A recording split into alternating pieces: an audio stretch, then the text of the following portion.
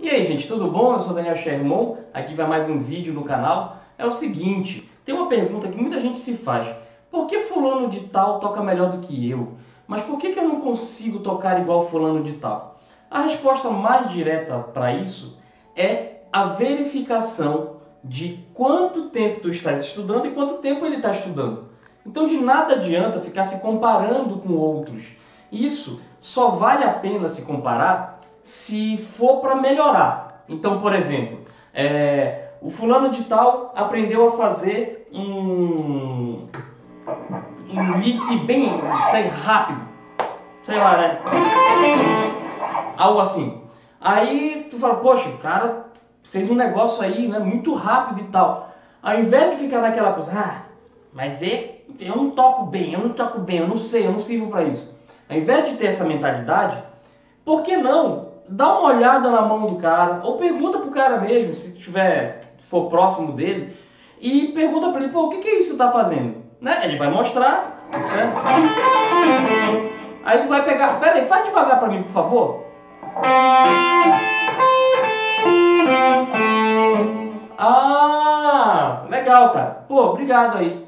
E aí tu vai para casa e vai repetir. Aí,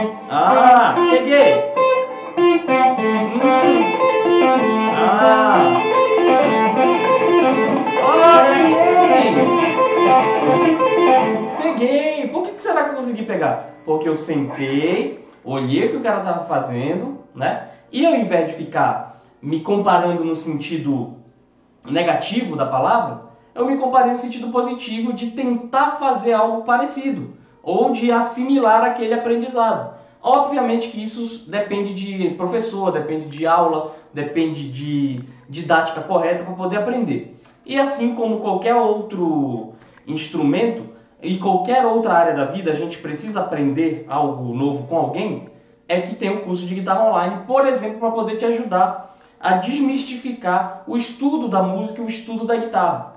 Não adianta ficar se comparando no sentido negativo, se compara no sentido positivo. Se fosse comparar, faz como eu fiz. Peraí, o que, que ele está fazendo?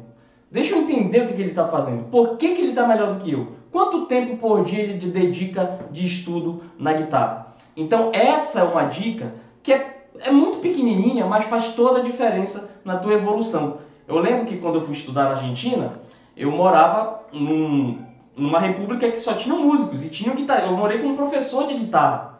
E ele tocava milhões de vezes mais rápido do que eu, com muito mais propriedade, com, com enfim, era professor, né? Tinha estudado na, na Berkeley, se eu não me engano, enfim.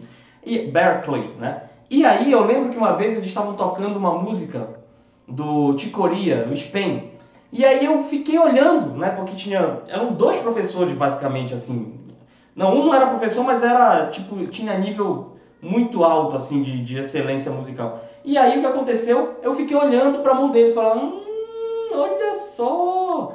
Aí eu via técnica de, de sweep picking na minha cara, né? Via é, é, tríades, tétrades, enfim, a maneira de improvisar. Aí eu comecei a sacar coisa, né? Porque, mas aí eu não fiquei me rebaixando. Eu não fiquei achando, ah, poxa vida, eu sou um coitadinho, ai meu Deus. Não, simplesmente eu peguei, olhei e falei, ah, deixa eu assimilar esse negócio aí. Outra vez foi um outro amigo meu que morava lá também com, com a gente, e ele já tinha uma velocidade, eu lembro que muito bem, que era um, um, uma frase, uma parte da música que ele fazia. Um negócio assim. Aí eu não sabia fazer aquilo, eu fiquei olhando, olhando, olhando. Ah, saquei, saquei. Ou seja, eu peguei, a experiência deles, eu olhei a experiência deles e trouxe para mim. Então isso é muito importante, né? ao invés de se comparar negativamente, se compara positivamente e extrai algo para o teu melhor aprendizado, para melhor, melhor assimilação tua no instrumento, no estudo da música, enfim. É isso aí, gente. Não se esqueçam que chegando a 10 mil inscritos, esse pedal vai ser sorteado, um pedal Tony Box da é, um booster que serve como drive, tá legal? E na descrição tem o meu e-book de como tirar música de ouvido, Tem também o Instagram, tem Twitter, Facebook, é, enfim, WhatsApp, e-mail. Então tem todos os meios de comunicação para falar comigo e também o site do curso de guitarra online, que é curso de guitarraonline.net. E é isso aí, um abraço e até o próximo vídeo.